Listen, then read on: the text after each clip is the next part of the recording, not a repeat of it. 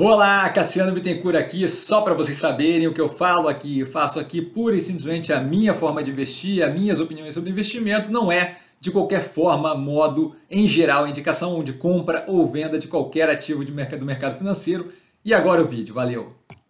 Olá, Cassiano Bittencourt, pelo Movimentos da Semana, mais uma vez aqui, todo domingo nós temos o Movimento da Semana, onde eu comento os ativos mais descontados do portfólio e movimentos quando temos nessa semana é, não tivemos nada, há algum tempo a gente está parado só observando.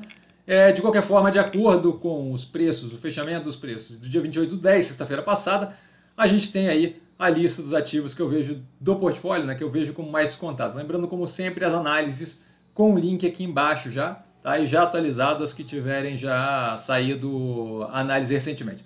Tá? Primeiramente, a Multilaser, portfólio de produtos diversificados é algo bem positivo.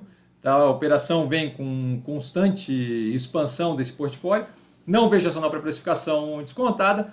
Lojas Renner, muito positiva, muito alinhada e com a precificação extremamente descontada também. Tá? Preços ali, se não me engano, abaixo do, do, do momento crítico da pandemia, que faz zero de sentido. Burger King, agora Zemp, né? com operacional financeiro muito positivo, no que tange retorno ao pré-pandemia, evoluindo consistentemente e a gente já tem já vários pontos da operação acima do pré-pandemia, não faz sentido essa precificação descontada de forma agressiva. Tá? Então vejo a operação com capacidade de expansão muito positiva, especialmente com a linha de Popais e possivelmente novas linhas, dado inclusive a mudança do nome da operação para poder abarcar mais coisas que não só o Burger King.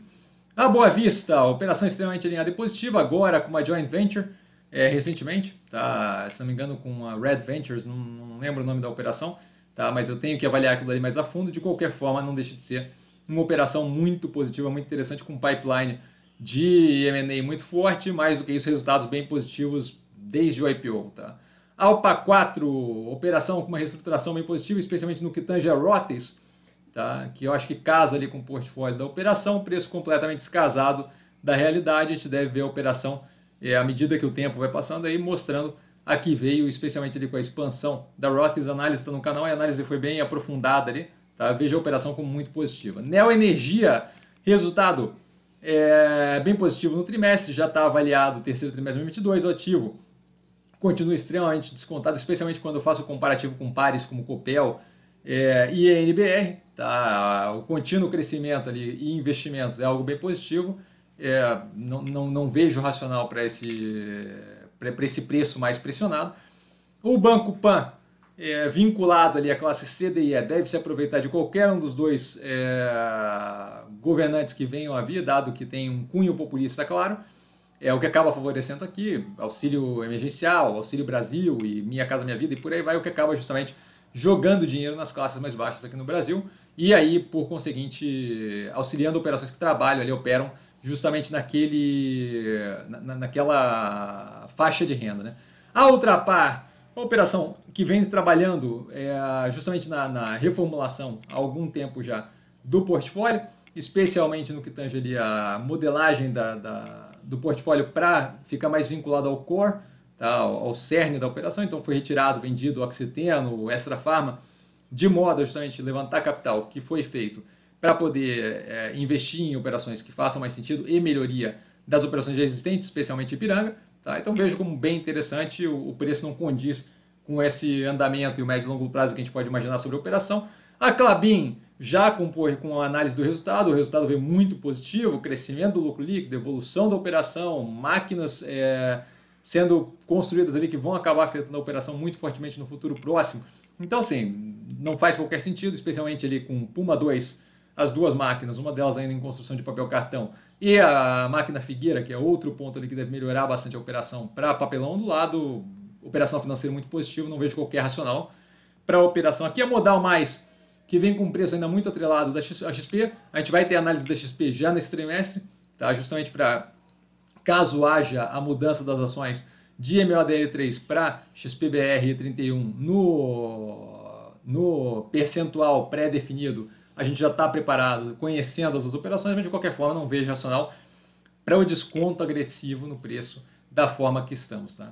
É, Mobile, operação alinhada com a tese de investimento que foi colocada lá no IPO, Tá? Eles vêm fazendo o trabalho ali justamente de, não é não de remodelagem, mas de evolução de uma operação que era só digital para digital, físico digital, tem tido resultados bem positivos, especialmente na parte logística, tá? e, e vem justamente trabalhando na evolução contínua. O preço, ao contrário disso, só derrete é, desde que a gente teve ali uma, uma continuidade pós-IPO. A Ômega Energia, com espaço para investimento, aumento de capital agora que a gente teve recentemente, dá para ela mais, mais é, bala na agulha ainda para investir mais agressivamente. Vínculo com energia sustentável é algo bem positivo e desconto no preço sem justificativa, a meu ver, especialmente com esses últimos movimentos, a operação que começou a ser construída nos Estados Unidos, no Texas e por aí vai.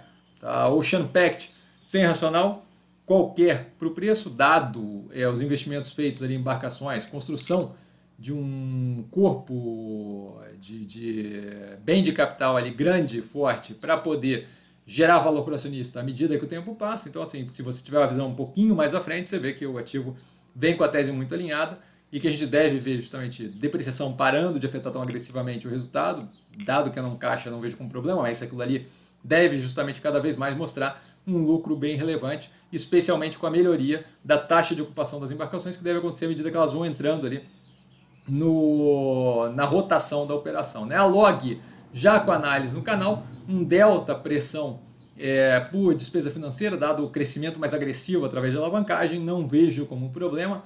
O ativo já vinha descontado antes, continua completamente descasado da realidade, a operação vem crescendo agressivamente. É, e com isso deve cada vez mais ter, um, ter, um, ter um, aquilo ali refletido no, na geração de resultado para os acionistas, tá? especialmente à medida que a gente tiver redução de taxa de juros e redução da alavancagem com a, a colocando ali para operar esses galpões que hoje estão em construção. Né? O grid com remodelagem operacional não deveria afetar o preço da forma negativa que afetou.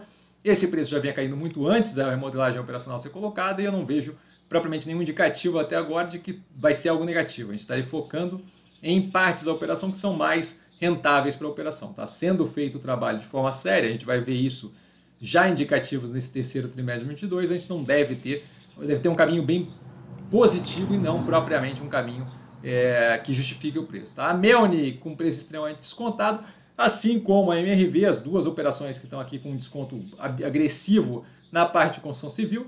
Tá? A Via com preço completamente descasado da realidade, dado os motores de crescimento, a operação rodando bem, tá? e todo um, um trabalho ali para crescer mais agressivamente, de forma ampla, é, pegando a parte de logística, a parte de é, financeiro, a parte de vários produtos, você tem uma gama maior de produtos.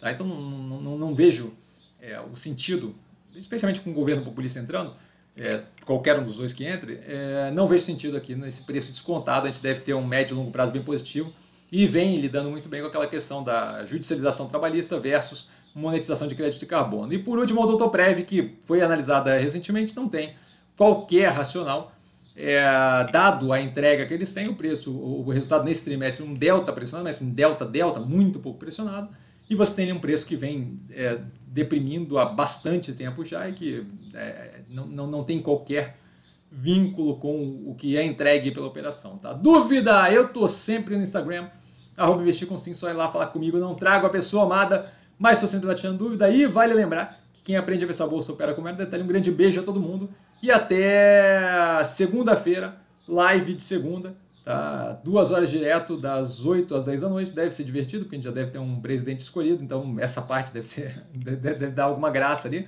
Tá? De qualquer forma, é um beijo a todo mundo e a gente vai se falando, se nos falamos amanhã na segunda-feira. Valeu, galera. Beijão!